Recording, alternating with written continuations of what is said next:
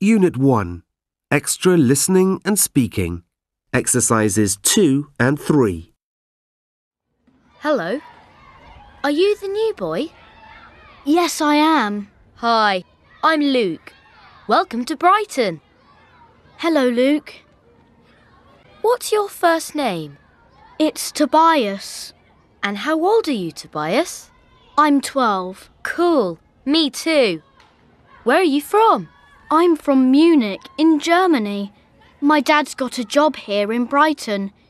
He's British, but my mum's German. Wow, Munich. What's it like? It's quite big, but it's a very friendly city. Okay. Brighton's a great city. Yes, it is. What's your house like here in Brighton? It's a modern house near the city centre. It's quite small, but it's very nice.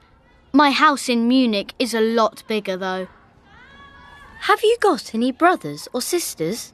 Yes, I've got one brother. His name's Peter. He's only five, though. I've got a sister. Her name's Becca, and she's 10, and she's really annoying. Oh dear. So, tell me a bit more.